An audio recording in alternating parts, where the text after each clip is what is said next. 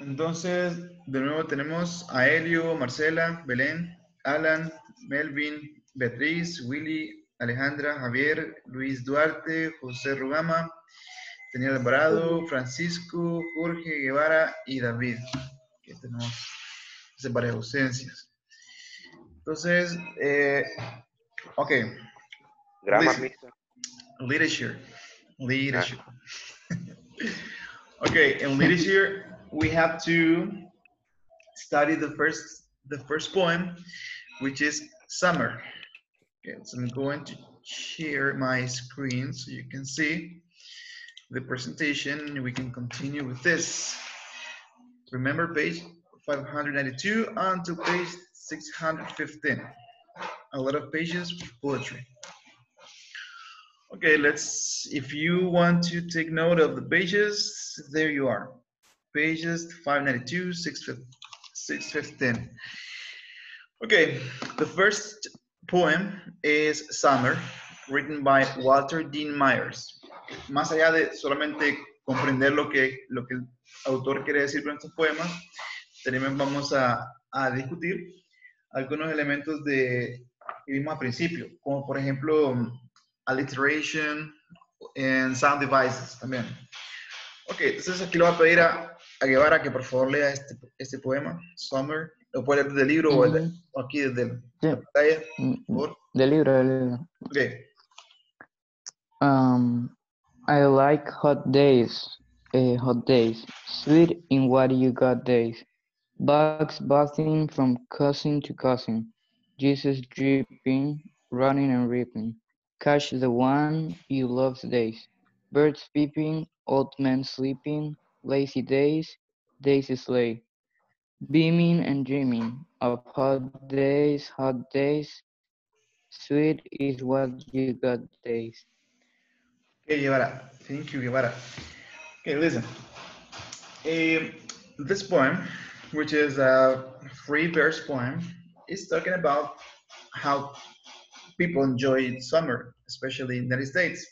Remember that vacations take place in summer in United States, and uh, here we can see a picture of two boys who are playing with water.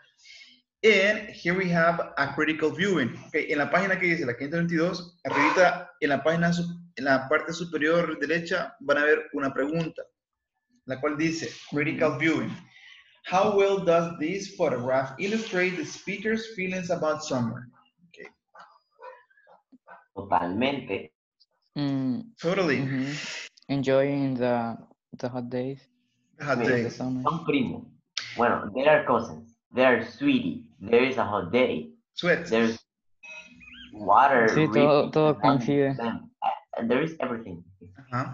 Lazy days, no, days when when you can Uh-huh. just sleep and sleep and sleep and play if you want. Okay, uh, here we have something that it says that in summer we have internal and terminal rhymes and a strong irregular rhythm as important as the literal meaning of the poet's words in creating a picture of summer.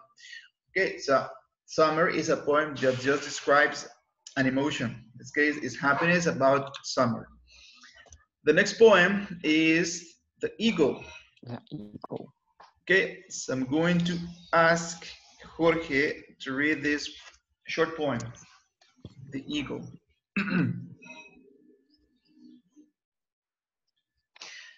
Jorge, estás en mudo, no te escuchamos nada.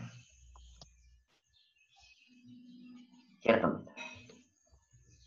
The eagle. He clasps the crag with hooked hands, close to the zone in lonely lands. Ring with the azure world he stands. The wrinkled sea beneath him crowds. He watches from his mountain walls, and like a thunderbolt he falls. Okay, so this poem is composed by two stanzas, only two stanzas. And here we can find some some uh, alliteration. Remember, alliteration is the is when we find the sound of, of a vowel or, or a syllable. For example, in, in, the last in the last words of the first stanza, we have crag, hands, sun, lands, and stand. Okay, so the sound we have here is uh with the hands, with sun, so lands and stands. So this is alliteration. This is just for the, the effect of the sound. We also have um, Mister, a mí ese poema a mí sí me gustó. Sí, vamos a hablar de eso, pero primero analicemos la, la- la parte de esto que dice alliteration. Si ustedes se fijan, en estas palabras que aparecen aquí, claps, eh, claps, the cracks, and hook the hands. Fíjense bien, en esta palabra, claps and crack, claps, ambas comienzan con C, o sea que tenemos que decirlo con un poquito más de fuerza. He claps the crack with hooked hands. Eso es lo que llamamos, llamamos también alliteration, porque hay una, una consonante que, que suena fuerte, o en este caso dos, que es la C, la, la, la H, es como J. Claps and cracks and hooks in, and hands. And then we have, uh, in the last stanza, we have pros, walls, and falls. Okay, this is alliteration. Okay, about the meaning of the poem, you know that the, the, the eagle is like an American icon. It's like a symbol of pride for the American people. And you can find it in some, in some elements. Vamos a ver, solo quiero hacer una pequeña pausa. la- And okay, let's continue then with uh, the next poem, uh, which is, I'm, I'm going to skip uh, a useless poem, which is analysis of, of baseball. So we're going to Okay. continue with Largo. another poem. Es que solo And describe this el is- béisbol y Just Muchas give me a second. so- But before we talk about this poem, let's talk about the author, which is Edgar Allan Poe. Okay, a short biography about this author. And here we have that his biography is often dis- distincted, or in his life was filled with personal tragedy and personal failure. Poe trying to escape uh, this failure, but it had a low tolerance for alcohol. Then we have numerous women whom he loved died, most of them from tuberculosis. His true love, his wife, Virginia Clem, died from tuberculosis, but watched her slowly die for five years. Remember that Virginia Clem was eh, much younger than him, and she was his cousin. Maybe Edgar Allan Poe had some family in Olancho because he married his cousin. Maybe. Sí, mister, eso iba Okay. Uh, the poem, Hierro the poem pariente. is Mister, Isabel, and it's composed in four stanzas. It's a little bit long poem, but maybe if you read it, eh, media, media maybe when, when we started to read the poem, we thought about the, the bells of, of the school, the bells in the church, or the bells for for a musical band. So, but what is the poem about exactly? Can someone tell me what the poem is about? Mm, es como bien. Mira, mister, yo entiendo que es como que está describiendo los sonidos de las diferentes campanas. Ujú. Eso Pero fue en cada, en cada descripción, y una en diferente. ca- ajá, correcto. En cada descripción hay un sentimiento que, que las campanas le dan a uno. Vea, por ejemplo, cuando las campanas de iglesia llaman a misa, entonces es un sonido más alegre ¿va? y más fuerte, más continuo. Pero cuando el, el ¿cómo se llama? La, el sonido tiene que ver con, con un entierro, por ejemplo, ya se ya han escuchado que las campanas suenan más lento y más triste. Y incluso cuando, cuando hay una elección del Papa, por ejemplo, las campanas suenan mucho más rápido todavía, más alegres. Tr- Tratan de sonar lo más, lo más prolongado posible. Eso pasó en 2013, cuando fue Francisco, y también lo, lo vi yo cuando, cuando Benedicto XVI, en 2005. Okay, um, what can we find in this, in this poem? Okay, uh, here we have some reading check and says what type of bells does the, the, the section describe? On the first section, uh, it's identifying if silver bears attached to plates, just, just like the ones we can see in this picture here. Okay, bells like that. And then we have on the second page the sound devices. Okay, in the sound devices on the third on the third stanza, we can find something like uh, alliteration. Why? Because please open your pages, your page 600. O sea, vamos a analizar este, Ujú. este elemento que está en la página 600, por favor. En la página Bells 600, y tails. en la página 600 ustedes van a encontrar ahí el- la tercera estrofa. Especialmente, eh, se la voy a leer yo, esta parte, solo esa parte que está ahí para que identifiquemos esto que se llama eh, alliteration. Dice, hear the loud alarum bells, brazen bells. What a terror now their troubling tales. In the startled age of night, how the scream of their fright. Too much horrified to speak, they can only shriek, shriek out of tune in a clamorous speaking to the mercy of the fire. Ok, solo está ahí porque aquí tenemos que identificar esto que se llama alliteration. Fíjense, en la primera, en las primeras dos estrofas termina la- terminan ambas líneas diciendo bells and bells. Okay, it's repetition, repetition of words. Then we have what a tale of terror now their troubling tales.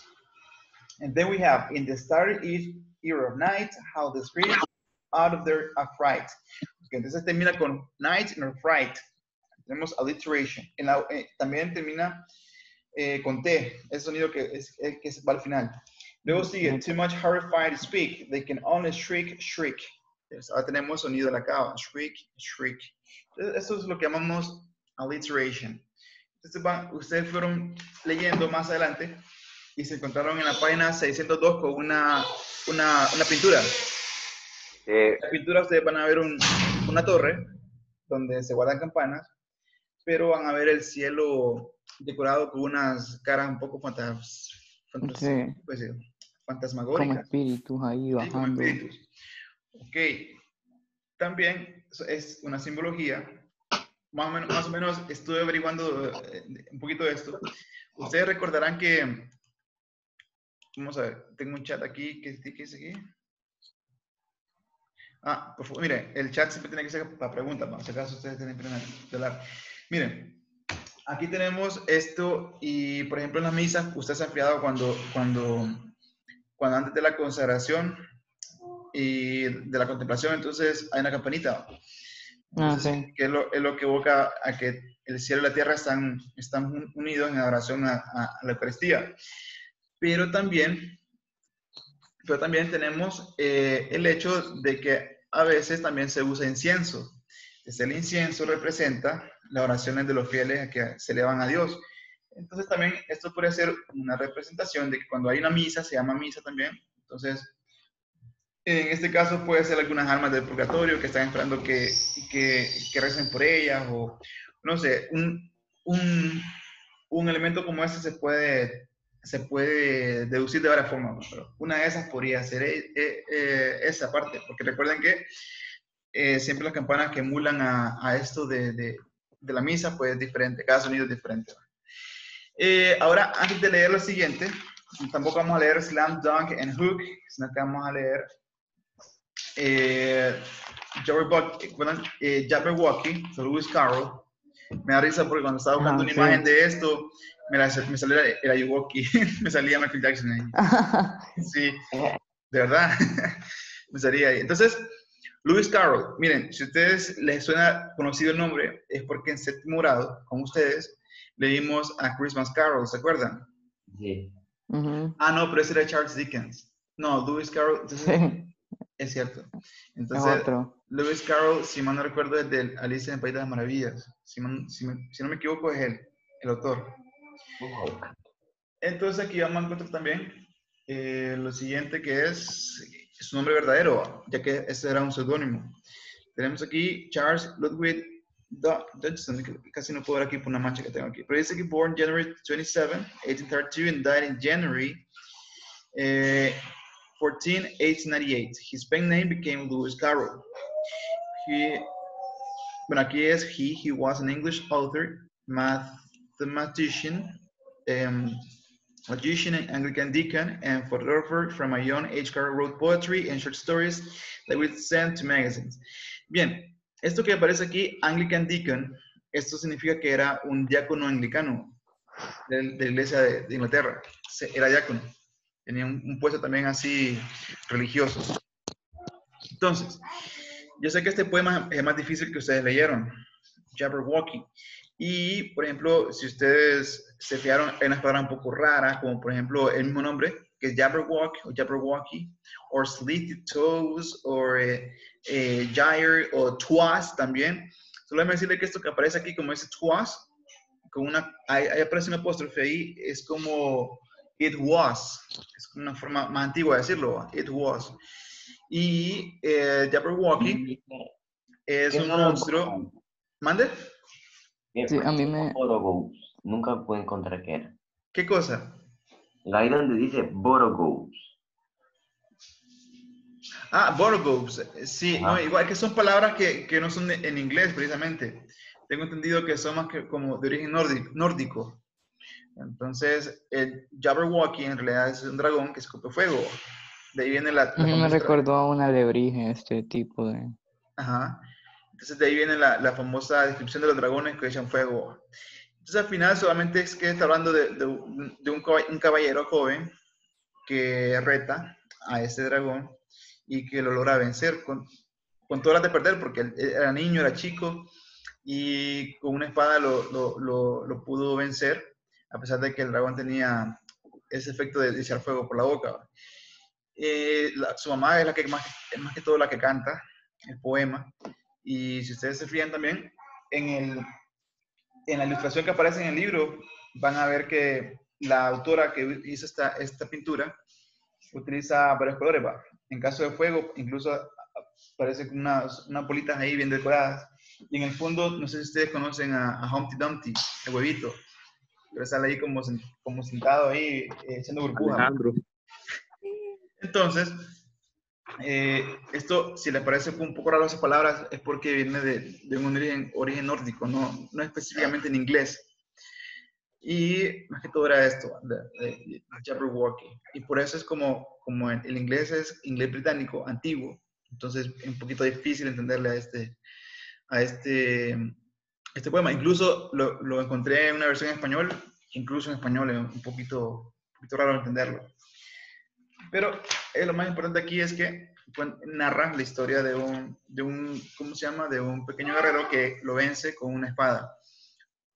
Bueno, también lo podemos comparar con el, con el rey David, ¿se acuerdan? Cuando, cuando mata a Goliat. Eso iba a decir yo. Con una lanza Correcto, son, son referencias así que, que se cruzan, pero podrían, podrían ser incluso la misma historia, pero, pero con diferente contexto. Ok, um, now we have uh, there is no word for goodbye. Okay. Igual aquí, esto, este es un poema muy bonito. Aquí aparece un nombre también raro que aparece Socoya. Lo leyeron por ahí. Ustedes se fijan, tiene que ver con nombres de personas que son eh, indígenas en Estados Unidos, que sean nativos. Entonces aquí aparece, incluso si ustedes se fijan, el apellido de la persona que, que, que aparece que escribió, y que es eh, Mary Tall Mountain. Este Tall Mountain es una sola, una sola palabra, pero saben que es como decir montaña alta, así como se, como se ponían nombres eh, los, los, ¿cómo se llama? Los, los indígenas. Ah, no, no, es que indígena no. Los, ¿cómo se puede decir? Los americanos. Ah, los nativos, los nativos, perdón. Tocoya. Alan, levanta la mano, no sé. Ujú.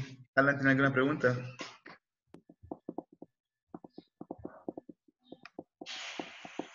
No. Ok, entonces aquí, más que todo, na- narra también una despedida entre una sobrina y una tía. Por eso que lo voy a leer donde dice Sequoia. I said, looking through the net of wrinkles into wise black pools of eyes. What do you say in the uh, at the bastion when you leave each other? What is the word for goodbye? A shadowed feeling rippled the wind-tanned skin. Uh, nothing, she said, watching the ribbon flash. She looked at me close. We just say, Tia, that means see you. We never leave each other. When does your mouth say goodbye to your heart? She touched me light as a bluebell. You forget when you leave us. You are so small then. We don't use that word. We always think you are coming back, but if you don't, we'll see you someplace else. You understand there is no word for goodbye. Okay, so imagine these two people, the, the old woman and the, the younger girl sitting on a river and trying to express something to say goodbye or a word to say goodbye. So, and they say that it's something difficult, but if someone dies, they have the hope to see that person in the after death, o sea, en el más allá. ahora. O sea, vol- volver a ver esa esperanza que tiene, que incluso también nosotros la tenemos, como en la fe cristiana de volver a ver a las personas que murieron, pero resucitados en algún momento. Y por último tenemos otra que se parecía a la primera, que era Blackberry Eating. Ok, eh, no sé si, mm, vamos a ver, si Bea me puede hacer favor de leer este, este poema.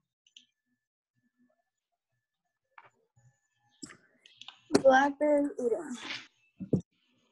I love to go out in late September among the fat, overripe, icy blackberries to eat blackberries for breakfast. The stalks very prickly and penalty. They earn for knowing the black art of blackberry making. And as I stand among them, lifting the stalk to my mouth, the ripest berries fall am- almost unbidden to my tongue. As words sometimes do, certain pe- peculiar words like strength or squinched, many lettered one syllabled lumps, which I squeeze, squinch open, and spurge well in the silent, startled, icy black language of blackberry eating in my Okay, thank you, Bea. Okay, this um, Galway Kino is the author of this poem, and it's just describing the happiness, the joy she feels in September when maybe the plants or the busts of these of these blackberries bloom. And uh, I don't know if you have done it, but I have done. I have been in the mountain and I have found these bushes and I have eaten these blackberries. No sé si alguna vez han ido a la montaña y han encontrado arbustos con, con, con estas, estas frutas y se la han comido así. Ya. O sea, bien Son rico. ricas. Especialmente No, si- así, así, un- así sí, de un Sí, solo del arbusto, ¿no? Sí las he probado, pero dicen que sé que son bien ácidas. es- Sí, son ricas, especialmente las que son como las, la- las más moraditas, son las que están ya más maduritas. Entonces son, el- es, bien, es bien rico, es, bien- es que parece que fuera algo artificial, pero es el, el- el sabor natural de ¿Es esta dulce o ácido? Es, no, es dulcito, es dulcito. Si uno se lo, hay unas que son como verdes, que son las que no han madurado todavía. En la fotografía que aparece en el libro, las que están así como moraditas, esas son las mejores. Porque las rojitas todavía están como en, en el proceso. Pero la- e- ella la- aquí utiliza una palabra, eh, yo creo que palabra es, que yo vea por aquí. Vamos a ver, overripe, aquí está, overripe, overripe. Ripe significa maduro en inglés, cuando hablamos de madurez de, de una fruta. Es decir, como, como ya están como eh, en ese punto que, que el sabor es súper dulce. Entonces, aunque parece que fuera artificial, en realidad es natural y es, son bastante ricas. Más, cuando estaba niño yo y, y íbamos a la montaña, pues si encontrábamos de estas, las comíamos. Pero si es verde y uno se la mete a la boca, es, es como agarroso y, y bastante ácido. Pero entonces lo que este poema expresa es esa, esa herida. Imagínense que un poema puede incluso llegar a tratar simplemente de, de, de hablar de lo, de lo rico que es una fruta natural, en este caso como son los blackberries. No el teléfono más, sino que la, la, Mm. eh, la fruta. Elio levantó la mano. Vamos a ver, Elio. Eh, no, mister, es que quería hacer una cosa, pero lo hice por accidente. Ok. Vamos a ver el chat. Dice que eh, Home Economics. Hoy tienen Home Economics a las 11. Ok. Eh, Ok.